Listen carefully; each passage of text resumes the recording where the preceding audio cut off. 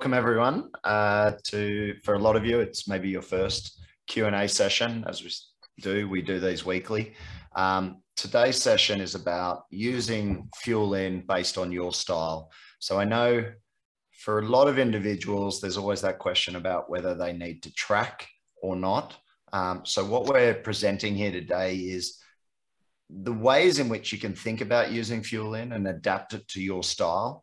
And to be honest like it's still a work in progress in terms of how we want to maximize these different personas. So I think the idea behind today is to give you a thought process of how some of us use it and somehow how some athletes use it. And then I think feedback from you coming in will help us develop the program further and allow us to just continually upgrade the Fuelin app to suit all different types of personalities. Um, so for those of you who don't know me, my name's Scott Tindal. Uh, I'm one of the co-founders of Fuelin. I'm based in Australia in Sydney. Uh, I have a passion for nutrition. I originally trained as a, as a physiotherapist and then studied sports medicine and then eventually did uh, studies in uh, performance nutrition. I've worked with um, within the sport of Ironman and triathlon since 2017 and love what every athlete is doing. Uh, and I'll introduce Elizabeth. Hello, Elizabeth Inpyn. Um, I recognize and know many of you. For the new people, welcome. Uh, kind of same with Scott, uh, background mine in um, former chemistry, biology, history teacher, and then fell into and found a love for the sports performance nutrition. I uh, like to focus on uh, female specific sports nutrition, especially things around um, overtraining, RED-S, um, disordered eating, and some, some things like that. So, welcome. Perfect. Okay, so today's agenda is we're going to talk a little bit about tracking and some key considerations that you may have based on your personality type.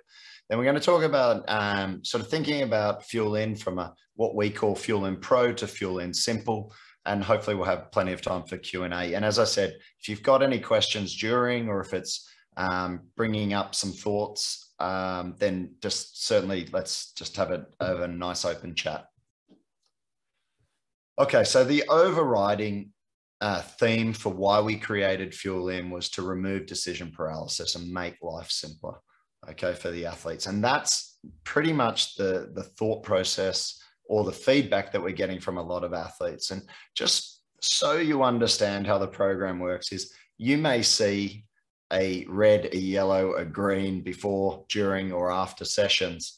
But there is there's honestly around 50 plus inputs and calculations going on for every single day and every single meal that goes in. So it the more information you feed into the system, the smarter it gets at um, providing you better detail. So things like your Z scores being updated, um, your time of day of the sessions, making sure the duration of the session is correct. They're probably some of the most important factors. And then obviously your, your biometrics in terms of your dietary preferences, your um, target body weight, uh, items like that are going to be significant in improving this. And then also the in session sort of data capture. So things like your sweat tests and your carb capacity, which you, you will be inputting within the sessions when it's appropriate, such as what you can see there with this bike session. The more information we get with that, the more we can be specific in telling you exactly what you need to drink and exactly what you're capable of consuming in those sessions.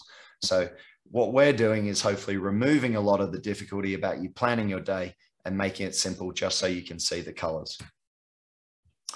Okay, so the purpose of tracking is, I think from my perspective, certainly it's, it's to provide awareness, okay? So a lot of people won't necessarily understand what they're eating or maybe not have the nutritional background or knowledge to understand exactly the amount of calories and potentially the macronutrient breakdown of that food. So when you start to get awareness of what you're eating, you're suddenly upskilling yourself to understand over time that, okay, the bagel has that amount of carbohydrates or um, the donut has this amount of fat or avocado has this amount of fat. How much of that do I need to know, need to consume in order to hit what my targets are?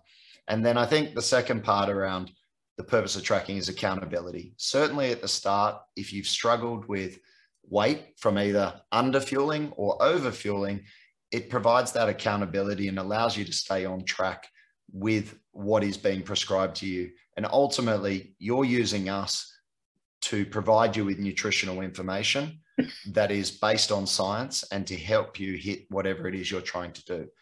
Now, the caveat to tracking is it's only as good as the accuracy. Okay, so that's really important. If you're not accurately tracking in terms of hard tracking, then it becomes fairly useless. So I think the key, key considerations for athletes in relation to tracking and where you sit on that paradigm of hard tracking to soft tracking is I think we can break it down into three key components. So psychology, motivation, and life context. So if we go from a psychology perspective, your personality type, I think, is going to play a very key role in this. Are you type A or are you type B? Um, type A being very detail orientated, meticulous, um, perhaps maybe uh, a very, um, uh, what's the word? Just very detail driven, I think is probably the best way to describe it, versus type B, which might be a little bit more relaxed.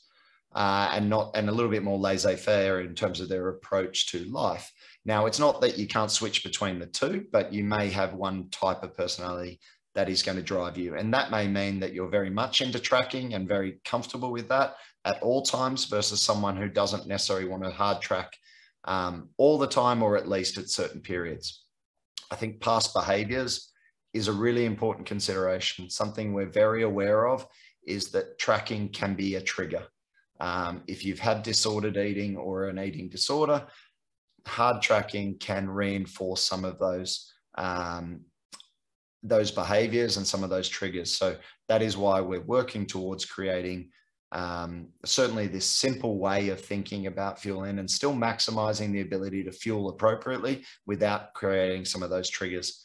And then I think last thing in terms of psychology is your knowledge. Are you social media trained in nutrition or do you have higher education nutrition knowledge and therefore and it can work in both ways because you could be very well educated and therefore not need to not need to track really hard because you actually understand the composition of foods and how much those foods are just by eyeballing versus someone who is potentially what I call social media nutrition trained who actually has very little idea and actually upskilling yourself with true science or nutritional science is going to have a big impact on how your outcomes work. Oh, sorry. I'll talk about the rest. Motivation. Um, your motivation might just be health from a pure health perspective. And I think you can hard track or soft track depending on, again, your personality type. If your focus is body composition, if you're really aiming to, you know, get your body composition in line, then probably something like hard tracking for a certain period of time to really be on top of what your caloric intake is could be beneficial. And then certainly from a performance perspective, if you're right deep in in season and you've got key considerations around races, then I again I think hard tracking for a certain period of time related to performance can be beneficial. But then you may pull out of the hard tracking and move to soft tracking if it's not necessarily um, you know you don't have an immediate race at the forefront of your calendar. And that leads into the life context so, where are you in your training phase? What are the external factors? Do you have a young family? Do you have time to track? Um, and then life demands, same thing. So, you know, where do you sit in this paradigm and where, where do you want to focus your energy either into hard tracking or soft tracking? Uh, just have a look at the question. With respect to knowledge, can you recommend a few books that will help? Um, the Steve, the, the issue with books is that often they become very outdated very quickly uh, because nutritional information is changing so rapidly. Um, let me have a think about that. We'll make note of that, Jonathan. If you could just make note of that, and I'll just have a think about some textbooks that have been uh, very influential in my training. And Elizabeth, I think we can you can do the same. Do you have any off the cuff that you would recommend straight away?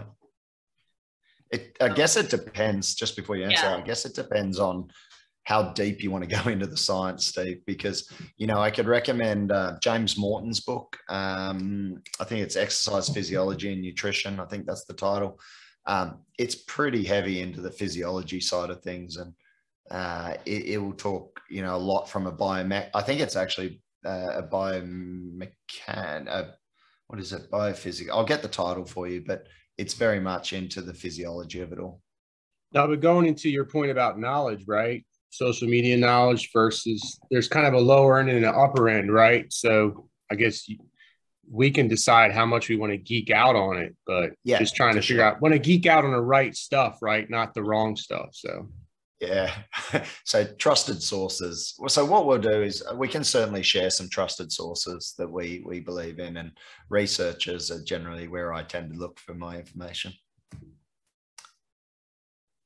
Okay, so ways to track within Fuelin. I think the way we can think about this, and yes, I used red, yellow, green as indications. It doesn't mean one is better than the next. So it was just more I used the colors from the system. But the meal ticker might be the person that just literally sees the colors. You see that you've got a red snack, you've got your session, then you've got a, a, a yellow breakfast. And all it means is you look at that and go, okay, I know what a red snack is. Red snack for me is a piece of toast with some jam. Tick, I had that. Yellow, okay, I know what my yellow meal is. It's overnight oats. Um, it's 60 grams of overnight oats with, you know, two scoops of protein, some blueberries, some nuts that's my go-to. I know that's what it, it fits that meal. Tick. And all you do is tick those off. So you're not tracking any more than just acknowledging you ate the meals. And we'll get into exactly how you can define those meals um, today. But that may be as much tracking as you need. a lot of people do that. Some of the best athletes that I personally work with in a one to one fashion actually just use that system because they upskilled their knowledge initially they tracked, they were a green meal tracker. They went down to meal ticker because they became very knowledgeable and understanding in terms of what they required. So then you have the middle person, which might be the meal builder. This is using the meals within the app, okay, and going through and going, okay, I need a red meal. You click on the red meal, it brings up a number of meals within the app. You go, I like the look of that, click that. Does it provide you with enough protein? Does it provide you with roughly the amount of fat and certainly the carbohydrates? Yes, it does. Do you need to add in some extra protein? Search within the app, extra chicken, extra uh, plant protein, tofu, seitan, whatever. Um, do I need some extra beef? Oh, yeah, I can use that within the app. That brings up my protein and fat to meet my requirements for that particular meal. I build my entire plan throughout the Fuelin app. Okay. Then you go to the meal tracker person, and this is using, say, the external apps. This is using MyFitnessPal or Lose It to really be detailed in the way you approach it. And so you can you go through that and you're meticulous in that. Now, where I sit, I sit somewhere between the meal builder and the meal tracker.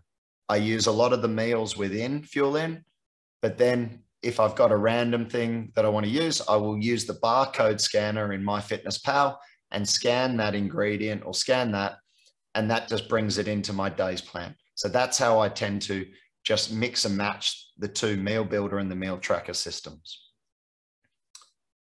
Does everyone understand that high level view of that? Does that sort of make sense? And we're going to get into like a little bit more detail of what you can do, how to do this.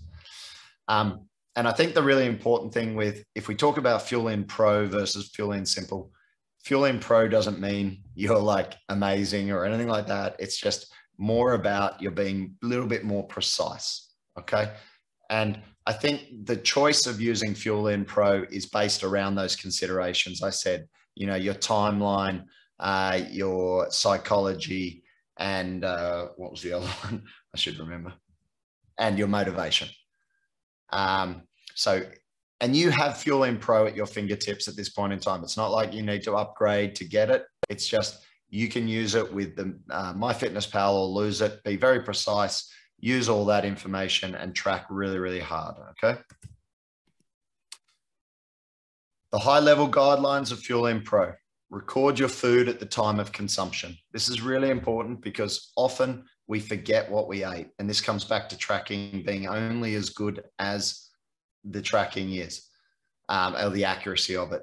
Weigh your food, certainly the ingredients, at least initially to accurately understand portions. You can weigh your food, put it next to your hand and we'll discuss the hand sizing way. Once you understand the size of food relative to your hand or eyeballing relative to your plate, you then can disregard weighing. You understand how big a steak is, how big a piece of tofu is, what it gives you. Same with grains, same with, um, you know, uh, vegetables, so on. But certainly, if you're going to go down the tracking route, then think about weighing your food initially. Record everything that is consumed. I can't tell you how many times I've had one to one conversations with athletes, and they're like, I don't understand why I'm not necessarily hitting the goals I am trying to hit, whether that's weight gain or weight loss. Certainly, in the weight loss perspective, when I will ask a question and I put the cookie counts, is because I might ask them, Do you eat anything? Do you ever eat cookies or anything? And if there's ever a pause, then yes, there probably is the consumption of all the other things that isn't being recorded. And the cookie counts, okay? It's not bad. It doesn't mean it's bad that you're eating a cookie. It just needs to be recorded so that you can then adjust other meals accordingly. Okay. And I think the thing about Fuel Pro, in terms of if you are going to use it, just remember we don't record in session fueling through MyFitnessPal or lose it. That is all recorded within the app, okay, within your um, carbohydrate consumption or carbohydrate capacity section to give you that. So think about the fuel within the sessions as free calories. Just we're only giving them to you when it's required. Go for it. As one um, female athlete who's um, you know, very, very high performing. Her words to me was, I was asking her about would she want to know about um, the in session fueling being added to her daily caloric requirement. And she said, hell no, I do not want to know. Like I'm consuming, she's consuming potentially 600 calories an hour.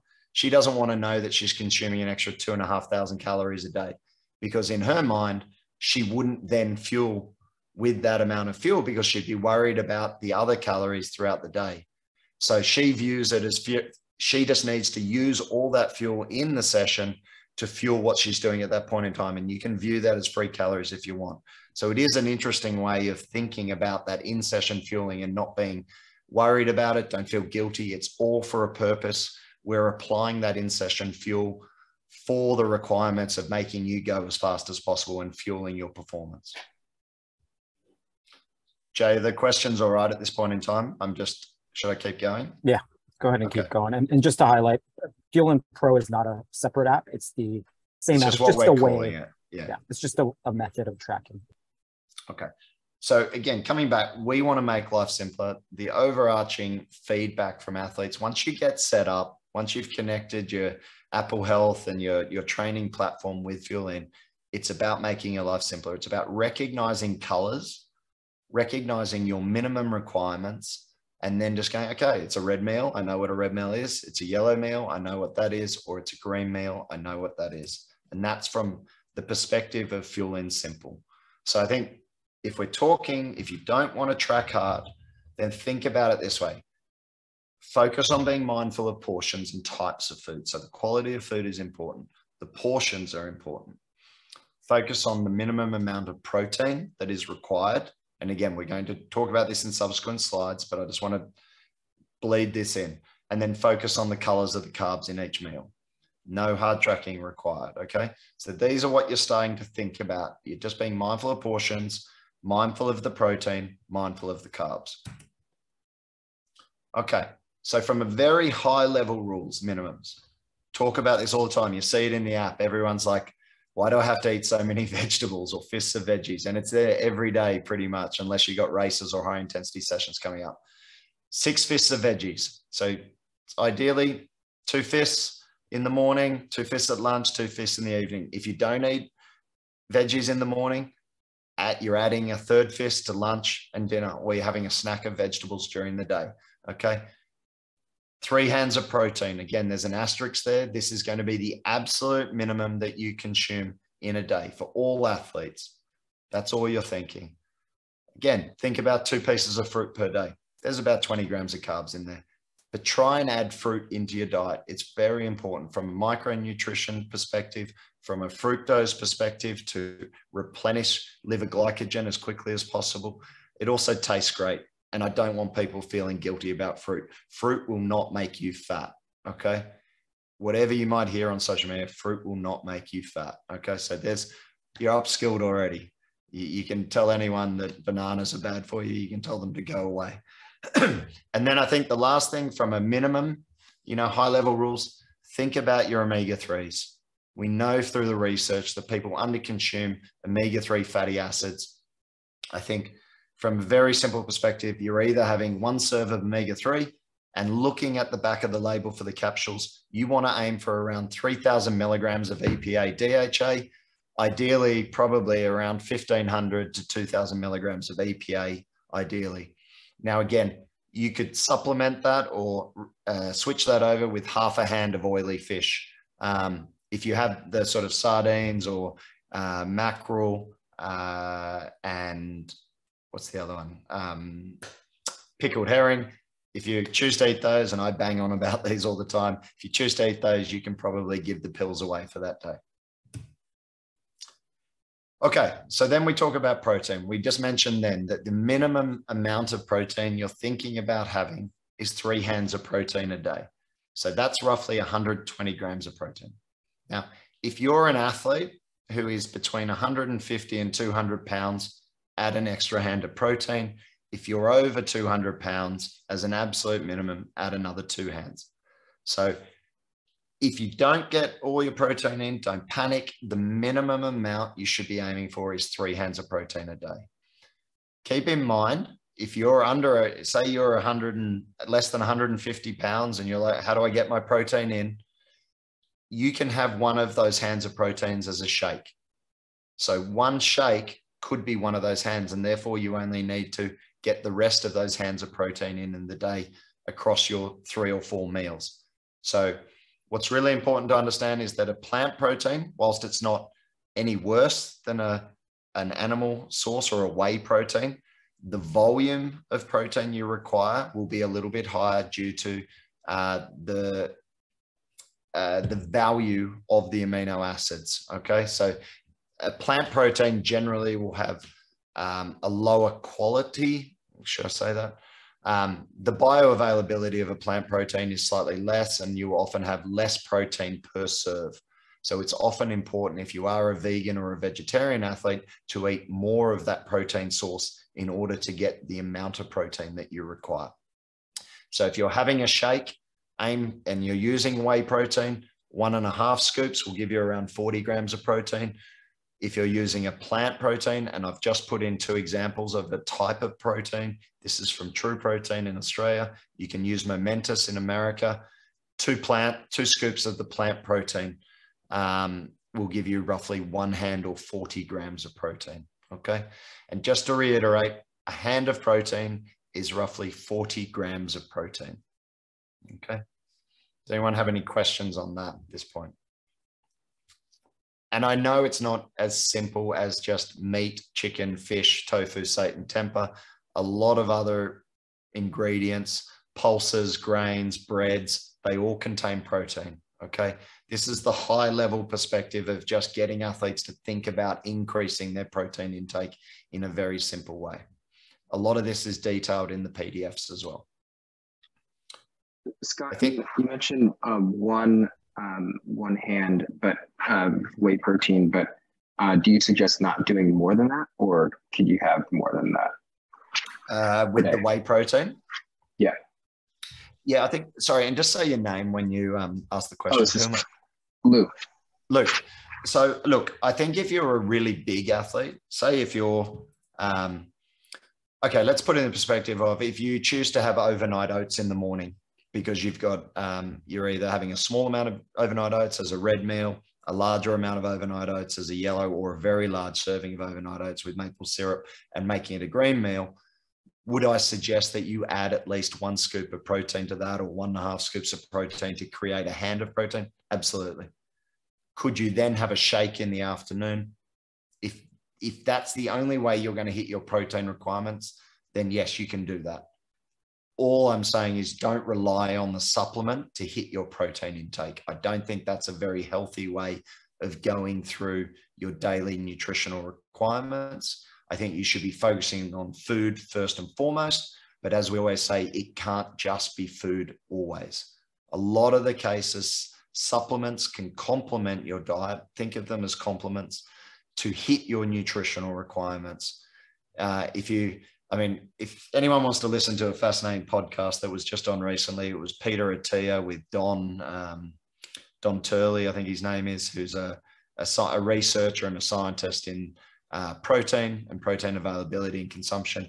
I mean, he was talking about the average person getting like 60 grams of protein a day in America. So when you look at what you require as an endurance athlete, and we're talking, you know, two, 2.5 times the recommended daily intake from a World Health Organization, then you're going to need to really focus on your protein consumption in order to get that up. Using a whey protein supplement or a plant protein supplement is a very easy way to top up your total protein intake. Does that make sense, Luke? Yeah, that's great. Thank you. Cool. Um, we did touch on vegan and vegetarian. Um, I think it's absolutely fine. Like being a being a vegan, being a vegetarian. The only thing I would say is you just need to eat more. And so this can become problematic for some of the smaller athletes who are vegans or vegetarians because you physically just can't fit the food in. So um, you often need to consume more food, and then you often need more of the protein um, containing foods because the bioavailability of those certain amino acids is a lot less than animal products. So um, you will have, I think it's around, and again, in that podcast, Don talks about this, it's around a 40% bioavailability compared to a higher percentage uh, for animal type proteins. Um, they also have reduced amounts of certain amino acids, in particular leucine, which is a key trigger for mTOR, mTOR being uh, the key trigger for muscle protein synthesis. So again, and you will hear this on social media, plant protein isn't as good as animal protein.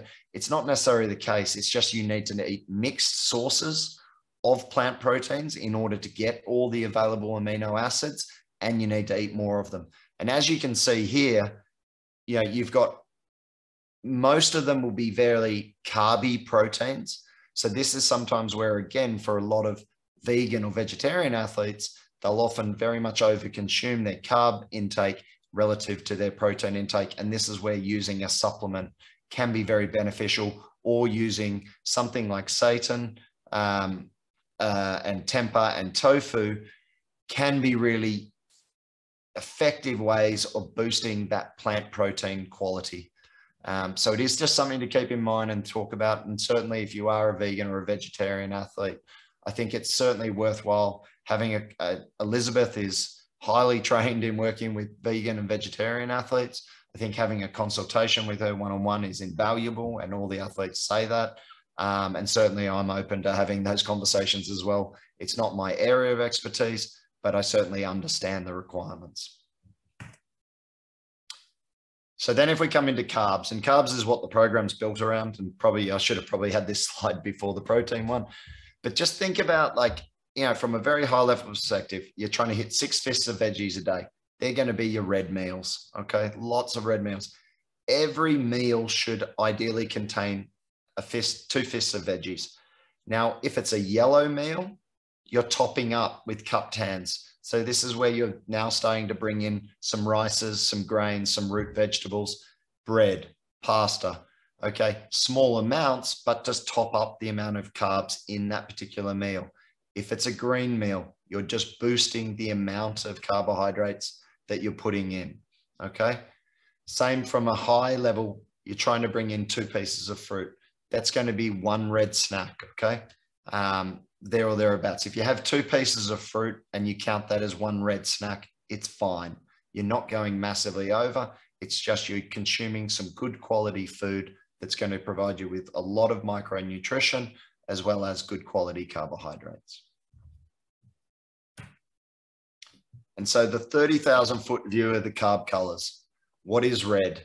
Okay, it's two fists of veggies with pretty much there or thereabouts one cup of hand, one cupped hand of grains, root veg, rice, a piece of bread, some pasta, piece of fruit.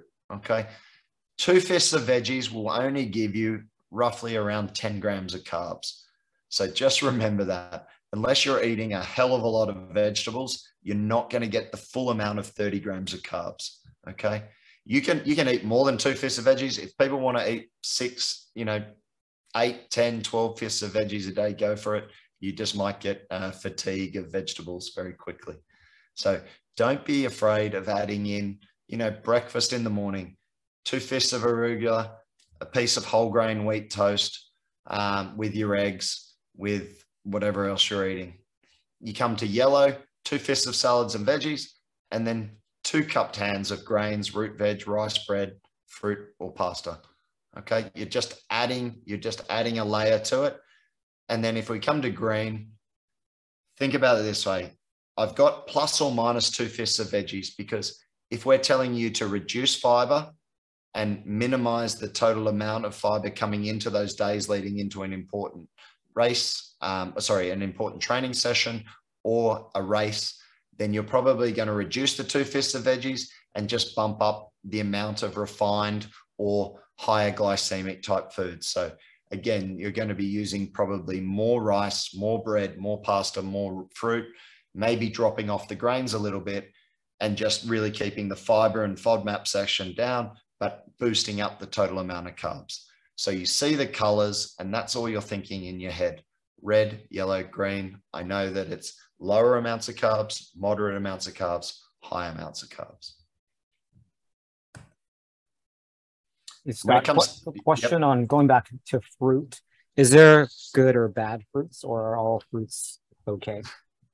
Uh, it's a very good question. Um, and Elizabeth, I'll let you jump in on this one. I'll give my two cents. I, I don't think there's any bad fruits. Um, I can't think of a bad fruit off the top of my head. The only consideration with fruit might be FODMAPs. Okay. So FODMAPs are carbohydrate sources that ferment in the large intestine um, that can cause symptoms or signs or symptoms of what most, most people might think of irritable bowel syndrome and stuff like that. So they may increase flatulence, they may give you diarrhea, they may cause burping, may cause cramping, bloating, um, things like that. So some fruits will contain certain types of carbohydrate that when consumed in large quantities can cause individuals to have signs and symptoms. So I wouldn't necessarily call them good or bad, but they could be irritable. So in that case, and if you do suffer from those signs or symptoms of that, um, I would firstly, again, recommend maybe having a, a, consultation, but downloading as an absolute minimum. There is a, a very, very good app from Monash University uh, called the Monash University FODMAP app. I think it costs about $10. It will honestly be one of the best $10 you'll ever spend if you do suffer from GI complaints um, because you will start to realize that something as simple as garlic or onion, which are not fruits, but obviously um, are very known triggers for that. Uh, dates, dates are in most bars and, you know, lower quality nutritional supplements because um, they're cheap. They're often, they I think they contain a lot of uh, polyols, uh, and and fructose, so they can often cause irritation as well. So it's not that they're good or bad; they may just affect the individual in a particular way. Your thoughts, Elizabeth? You pretty much summed it up.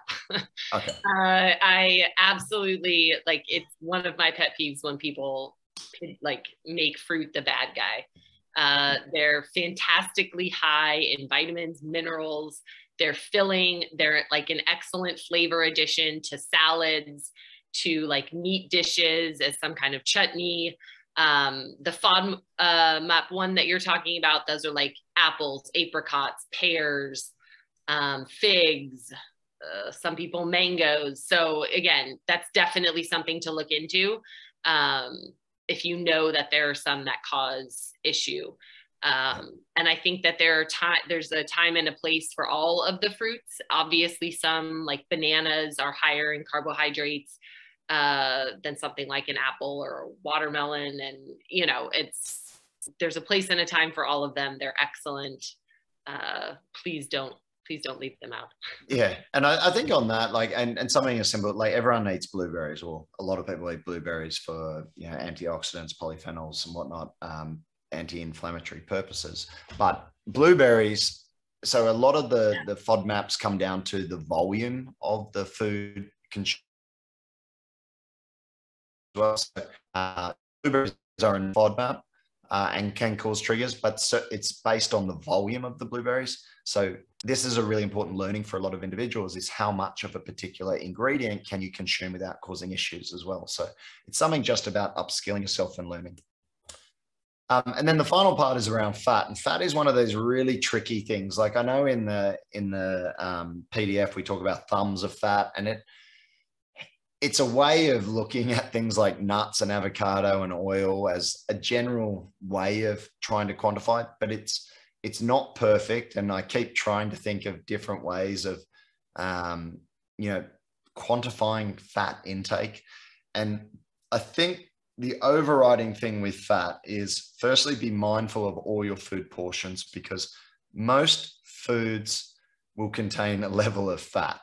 Now, fat is pretty much always found in proteins and carbs, but fat ingredients don't always contain protein and carbs. And so I know that's a little bit of, uh, it gets in your mind a little bit, but put it this way if you're eating a lot of avocado or a lot of olive oil or a lot of coconut oil, it will give you a lot of fat, but it won't give you any protein or carbs. The reverse could be said about like if you looked at those pulses um, we put for the vegetarian and vegan, fat is found in all of those, but there is also a significant amount or a decent amount of protein and carbs. So um, you're thinking about those food products in that way. So when you are adding like if you've got your meal in front of you, say you're an omnivore and you're eating a steak and you're eating your, you've got broccoli, beautiful grilled broccolini and half an eggplant grilled. And you're sort of like, okay, I've got the great red meal here. And then on top of that, you chuck, um, you know, three tablespoons of olive oil over the, the broccolini and you add in a big handful of almonds and half an avocado. You've you've blown the total caloric intake out on that meal with even though you've added a lot of healthy ingredients you've just increased the caloric amount of that meal to probably well in excess of what you needed. So avocado is a, a great food. Just be mindful it's very caloric. So you may need a quarter of an avocado as opposed to a whole avocado. Um, you may need 15 almonds you know a decent handful of almonds as opposed to the whole bag um, olive oil, you may want to use an olive oil spray instead of uh, olive oil out of uh, a glass bottle, or at least measure or understand how much olive oil you're putting on. Certainly, I would recommend you remove coconut oil. Um, and I know this is probably a big reversal or probably a big like what. Um, I think if we look through anecdotally what we see with people who consume high amounts of coconut oil, and I'm not talking refined MCT oil, I'm talking coconut oil, it will adversely affect your lipid profile.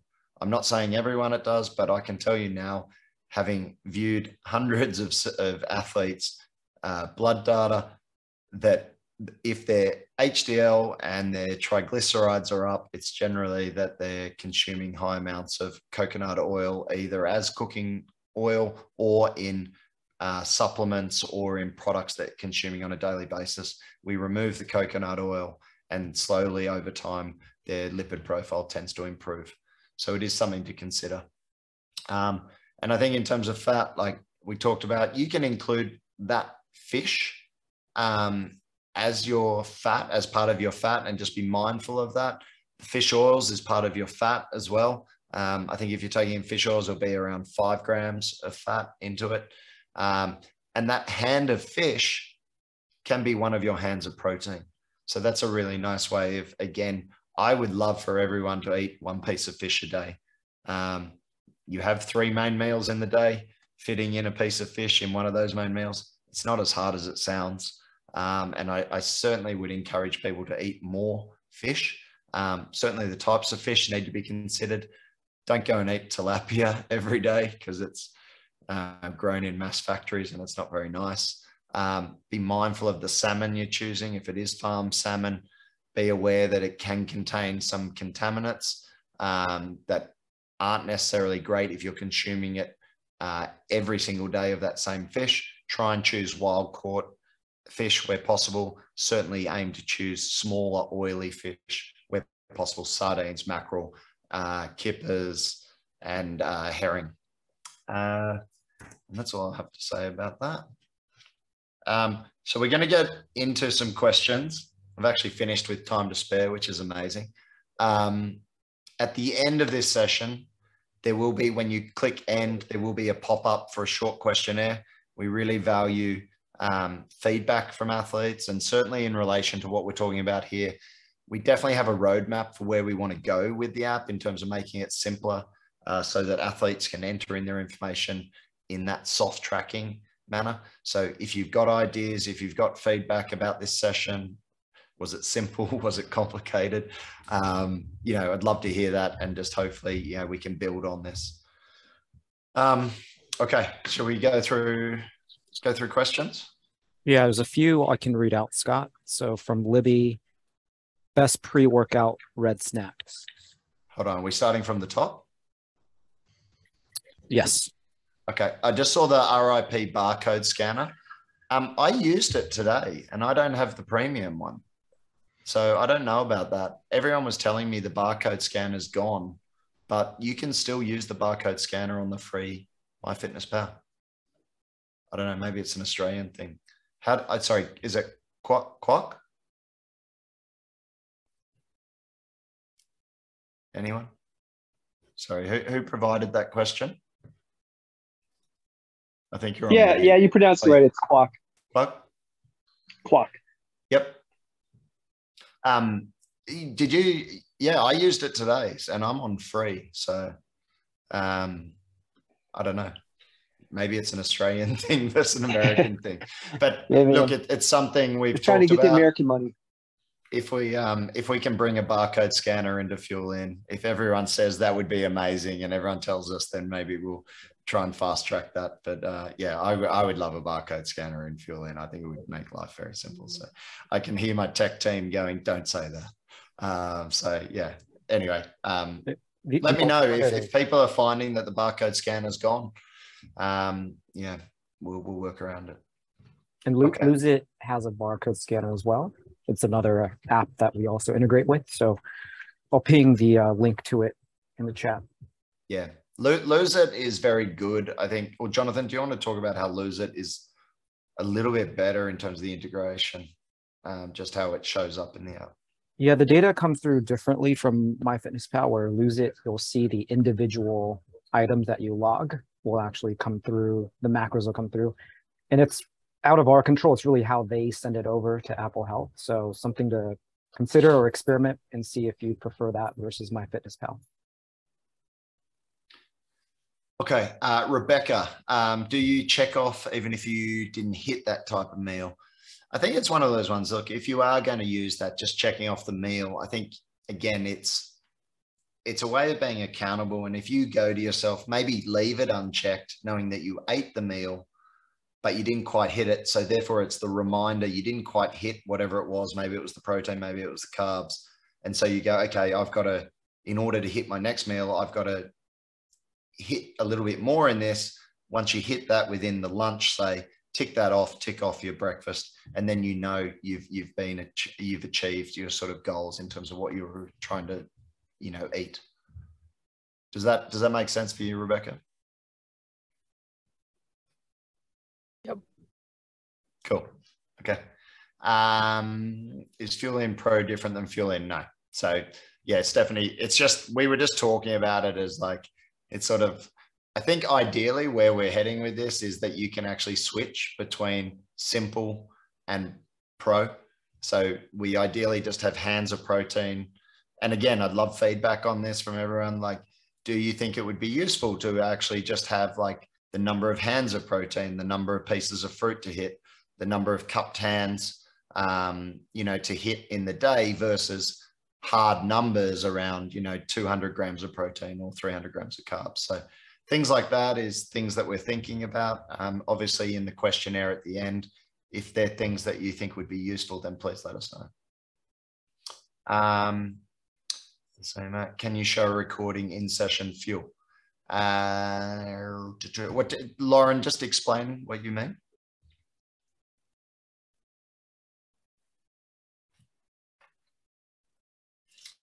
Lauren, I think you're on mute still. still here? Is Lauren still on? Can't see. her. Okay. Lauren's not on at the moment. Um, we, we can do the in-session fueling and how that works. I think for a lot of athletes, you understand how to do that. Does everyone understand how to get or why you would do in-session fueling? Um, I think the simple question, I'll show you how, actually, I'll just go back a screen. Uh, there. Okay, so you can see on the bike. Oh, no, you can't see on that one. It should say on that one. So see the run here. It says down the bottom, log sweat and log carb data. So you would uh, just hit the plus button at the bottom. That would bring up a screen that says log sweat and carb data. You select that and then input all your, your fluid consumptions through the sweat test section. It would then ask you if you wanted to add any carb data. You then add your carb data in all the products that you consumed very, very straightforward. We can certainly do a video on that and let you know. Um, okay, so I've answered that for you, Noah. Does that make sense? Got it. Cool. You can also go into the athlete section at the bottom right of the app, tap on that, and there's, if you scroll through, you'll see how many sweat sessions you've done on the bike and the run. You'll also see how many carb sessions you've done on the bike and the run. And that's what I was talking about at the start.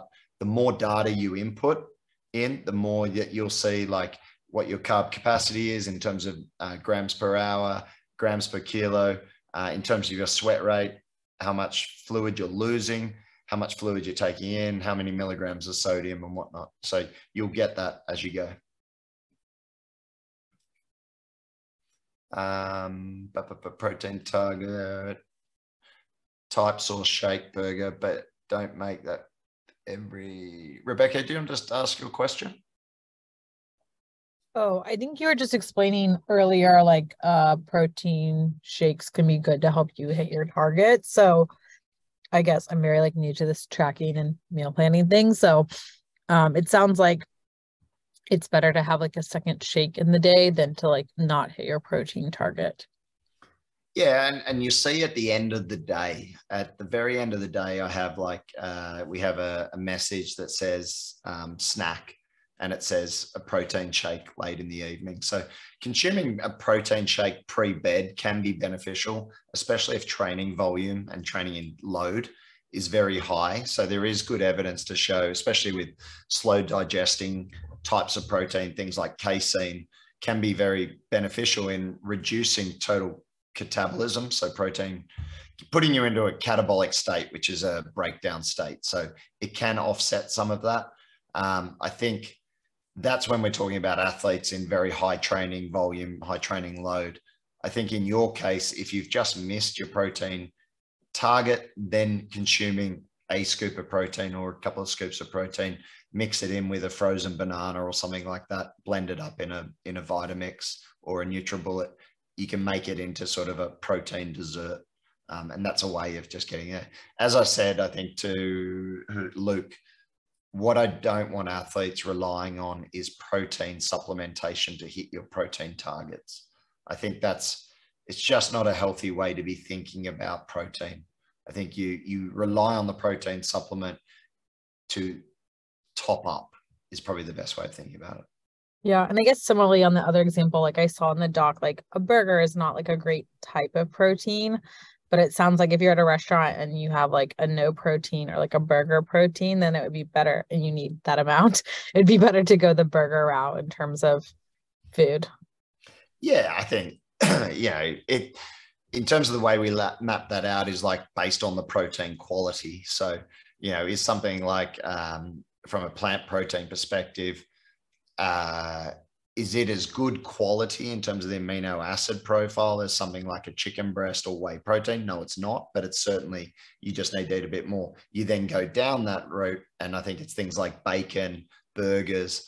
They're not as good quality as, say, especially when you're eating out. If you make it at home, it's probably as good. But it's just that level of like, okay, what what do I have at my disposal and what can I eat? if you've only got burger and that's your only option, then you go for it and just know that that's where you are. Um, hopefully, there's something on a restaurant menu that is something like some chicken or fish or something like that, unless you're at McDonald's.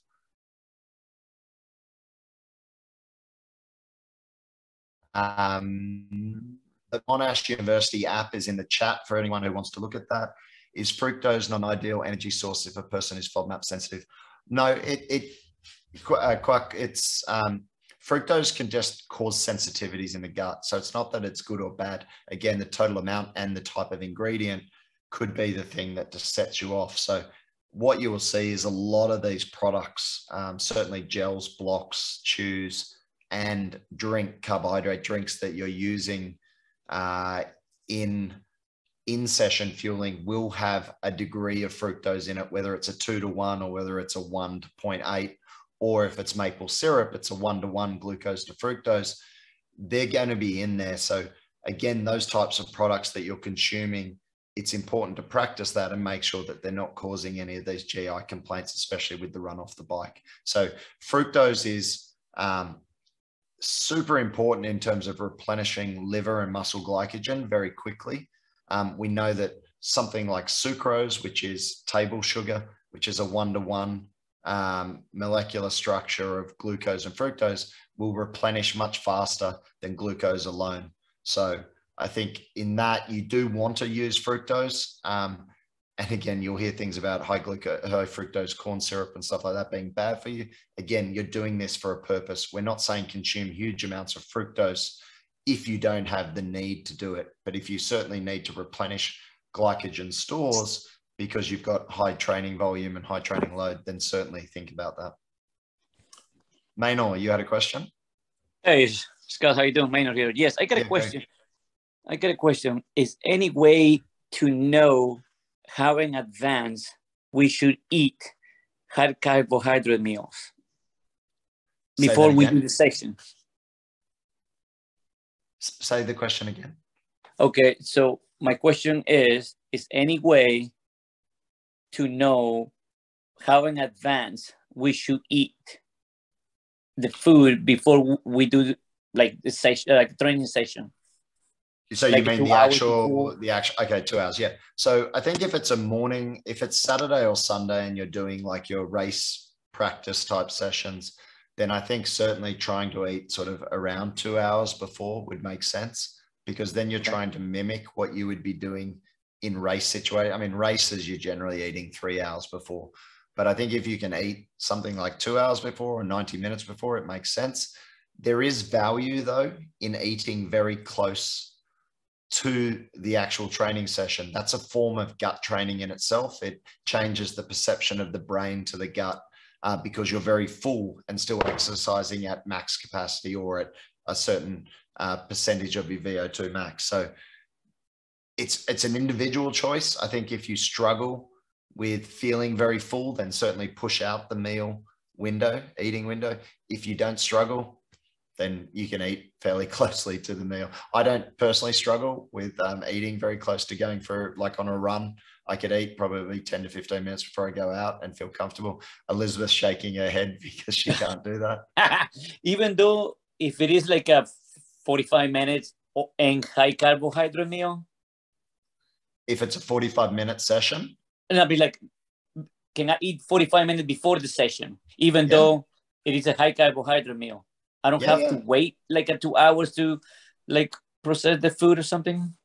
No, you'll see rises in blood glucose. I mean, the only thing about that 30 to 45 minutes might you might get this rebound hypoglycemic type effect where you get a sudden crash in blood sugars, but so that's probably around 20 to 30, somewhere 30, 40 minutes before, which is why you either eat immediately before or say maybe push it out to 60 plus minutes before. It's sort of that window of 30 to 45 minutes before a session can sometimes cause a drop in blood sugars um, before athletes. But again, it's individualized. So if you don't suffer from that, then I wouldn't worry about it. All right. Thank you. Is that you agree with that, Elizabeth? Like, is that how you sort of approach it? Yeah. Absolutely. Cool. Great. Um, Thank you. Cool.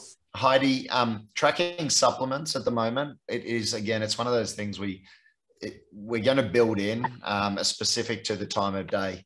Um, at the moment, just you know, mentally keep note of things that you should be having. I think in your shake, it's tracking it. You've got your creatine, your glutamine within your shake. If you're having that shake, you know you're getting your whey, your creatine, your glutamine in. Um, things like your your collagen, if you want to add that into the shake and you're consuming the shake, then you know you're getting it. fish oils is one of those ones where it should just be. I mean, I don't track my fish oil consumption. I just know that I have it every day. I have it every morning. So, um, but I, it would it would be a really nice look again if athletes want that type of detail and you think it would be valuable to, you know, be prompted when to take certain supplements like magnesium in the evening, creatine with your shake, fish oils in the morning. Um, if you if athletes see value in that, please provide that in feedback at the end. And Scott, I'm thinking uh, just for an immediate fix in the app under the recipes, we could put AM supplements and PM supplements. Yeah. And then athletes could just uh, select that just so they know mentally that they've checked those boxes. Yeah, it's a good idea. Um, I'm just conscious of time. If training volume is low or recovery type of phase, is creatine and glutamine an appropriate supplement? Creatine, definitely. I would just take five grams every day. In terms of glutamine, glutamine is one of those supplements that can is a conditional essential amino acid, meaning that when it becomes depleted, the body can benefit from um, consuming it uh, exogenously or through you know external sources if you suffer from a lot of GI issues, high doses of glutamine can help with tightening the junctions in the gut lining. That is why we recommend glutamine. So if you don't, if you don't have high training volume and you don't suffer from GI complaints, then potentially you could remove the glutamine from those days. If it is something that you suffer with, I would certainly bump up the amount of glutamine that you're taking in. Um, we've got so many questions here. I'm, I personally can't answer all of them now because um, I've actually got to jump on an athlete call. Um, maybe what we can do, we can put all these questions into um, maybe another session and we can just do an ask me anything um, to Elizabeth and I, and we can just make it very practical around all these questions because they're fantastic questions and a lot of them, every athlete has the same questions. So um, is that okay with everyone? It's probably a bit of a like, whew, that's a lot of information anyway. So uh, you probably need to take back and uh, and just sort of yeah. And th- this recording will be live, so you can go back over it. Um, we can we can share particular slides if that's something of interest to the athletes as well, um, and and we can share the PDF if that's interesting to you. Uh, I would personally like to thank everyone for just hearing me babble for 60 minutes. Sorry, it's uh, a lot of talking and probably not enough questions or talk from everyone. But um, yeah, I think it's a really exciting way in which we're moving with this because we do, like Elizabeth and Jonathan and myself, all talk about this that there is, you know, there's a certain subset of population that either tracking is not very good from a health perspective in terms of it can be quite triggering, but certainly also from a fatigue aspect. I think um, you know just having a break from hard tracking but still following this the program in a simplistic way brings a lot of value uh, to the athletes and certainly to us Okay. So I, I will stay on. This is Jonathan. I'll stay on if anyone has any issues or uh, questions about the app itself. And Cool. so, yeah. okay So feel free to hang on if uh, you have any questions about the app. okay thank, thank you so much everyone i will jump off Great group. bye bye